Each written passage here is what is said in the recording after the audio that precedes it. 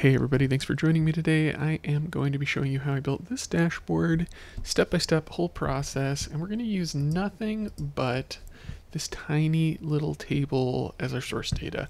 I just want to illustrate how much you can do with very, very little data if you just get a little creative with how you do your visualizations. And we're going to show the whole thing, start to finish, the whole process. Yeah, let's get into it. Here we go. So the first thing we're going to do is we're going to set our background color. I'm using a dark background in this one, and we're going to then drop in our shapes using rounded rectangles. That's typically my building block for most of my designs. And as always, you can change the roundedness of your rounded rectangle in the upper left corner. I'm going to update this to have a gradient fill. We're doing a blue over across to another lighter blue, and I use a little transparency here just so you can kind of see the background color shine through. Now I wanted a little header on this one, so I got a round same side corner rectangle. You see it here, it's the third section where rectangles are.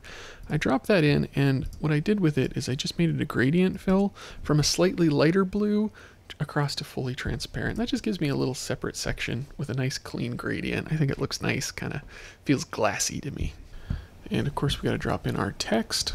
Hey, don't be scared to get a little creative with your fonts. You, we don't always have to use this Calibri or whatever the default is on your system. Try mixing it up. Try something different. Now I'm going to drop in my title text here for each of my sections. Sweden, Denmark, Norway. These are the three countries in the data set. And then what we're going to do is one by one go into these, delete the text out of them, and in the formula bar hit equals, and point them at the cell with the value that we want. Once you do this, you got to restyle them. Just going to pull over the styling from whatever uh, cell you're referencing, but it just takes a sec to do that. Yeah, then we just repeat the process for the other values there as well. Now I know I want to show how much these have changed since the previous year's recording, so I'm going to go over to our table. So what I've done here is I've inserted a pivot table, but what I've done for the values, if you right click them, go to field settings, you'll see you can show data as difference from a previous year. This is a really useful tool for doing automatic calculations in your pivot tables. And we're going to repeat the same process we did before, except point these obviously at the cell with that change that we just entered. Oh, and one last little thing I forgot. We want to, of course, label this properly so people know what this plus X amount value is. Now, I want to have a little bit of separation between these. So I'm actually going to drop in a little shape. This is just going to be a rectangle. And what we're going to do is we're going to change the fill of this rectangle to a gradient. This is a gradient from a white that's fairly transparent to a fully transparent white.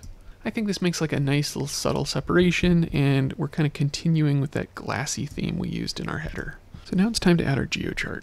Um, what I've done here is I've taken our original table and what I've done is I've just switched the year and the country. So instead of having columns for each country now, we have two columns, one for each year, and the countries are now in the rows. This is going to be a better format for making the geochart we want to build. Just highlight our table, insert, Go to Maps. I'm actually going to change my data selection here to just show 2022, the most recent value. Okay, so there's our geochart. Now, obviously, this doesn't look how we want it to, so we're going to clean it up. First thing we do, we take out this title. I'm going to take out this legend. I don't think we're going to need it for what we're building here. I'm also going to remove the background. And then we're going to click into the series section, go over to our series options, and we're going to do a couple things. We're going to change our map area to only regions with data. Then we're just going to update these colors. I'm going to do this and this. All right, once we got those colors updated, we're just going to get it to the right size and fit it in there. And I actually want this to have a little more depth, so I'm actually going to add a shadow. It's under the uh, format chart area option, or excuse me, format data series. And I also want to give it a little bit of an outline. Maybe make it a little transparent so it's not quite as bright. There we go. Okay, so this looks good, but the problem is this geochart, it's not really helping to tell us anything. So what we're going to do is we're going to add some bar charts on top of it to make this a little easier to interpret. So we're going to take that table we already created and just select one country, go to Insert, hit Bar Chart. Now obviously this doesn't look quite right, so we're going to clean it up. So same as always, we're going to delete the title, remove the backgrounds, etc. I'm going to update my font color so we can see it. And I'm going to remove these uh, these lines in the background. In my select data window, I'm going to make sure these series are named properly. And it's just so that we see the year under the, each of the bars. So I'm actually going to remove the bottom legend. I'm going to add labels to the bars themselves. Upper left corner, go to data labels, and I'm going to do inside base in this example.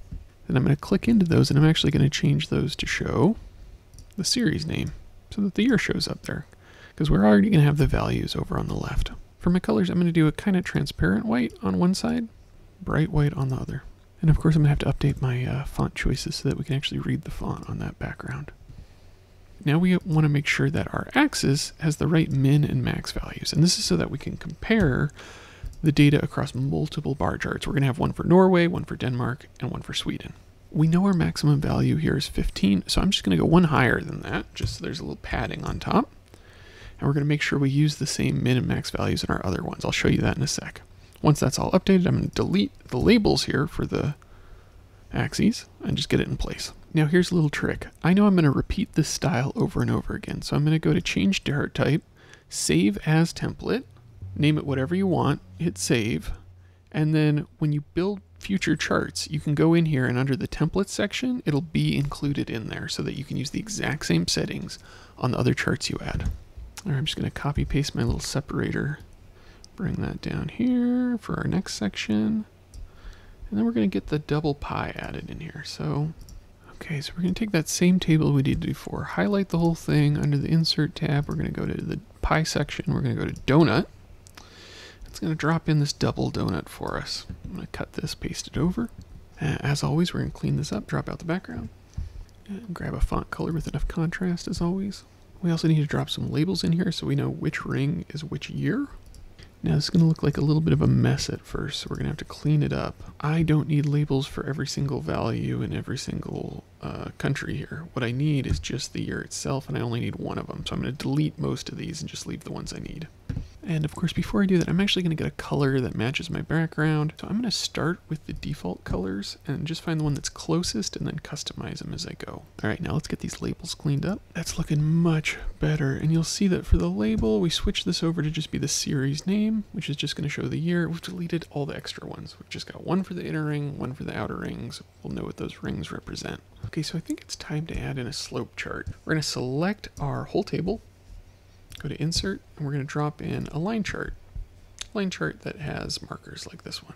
Now we're going to have to change our data selection because we don't want to plot the years. Boop. There you go. Now you're starting to see that slope a little more clearly. And the only other thing we need to do is make sure these labels show up. Hit select data, horizontal axis label category. We're going to highlight the year. Okay. And now we've got our year showing up. So let's get this moved over and clean it up, get it all formatted.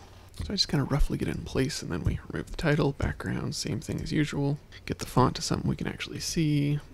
I think our grid lines here are helpful. I'm just going to just make them a little less bright so they don't stand out as much.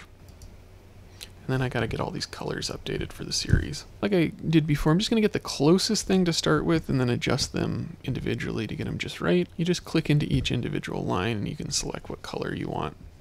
And you can also go into the marker and select the marker size. I'm going to go a little bigger for these markers uh, and update, of course, the fill and the border to match the line color. So I'm going to just go through each of these. So I played around with the colors, enough contrast here so you can tell them all apart. And then I also did this thing here. So if you go to chart design, insert, or add chart element, there's this line option. They're drop lines. They essentially kind of line everything up here. I like adding these on slope charts. And for this one, what I've done is I've given it a fill that is a gradient. So from a somewhat transparent white to a fully transparent white. And I've just done dashing. This is one of the dash type options in there. And I just feel like that makes it a little easier to tell that these are all representing the same year. They're all kind of on the same line there. And one last thing, we've got this blank space here. I always like to leave a little room to add context to explain things verbally. So we're just gonna drop a little text box in here where somebody could add a note, add context, add whatever they need to make this make sense.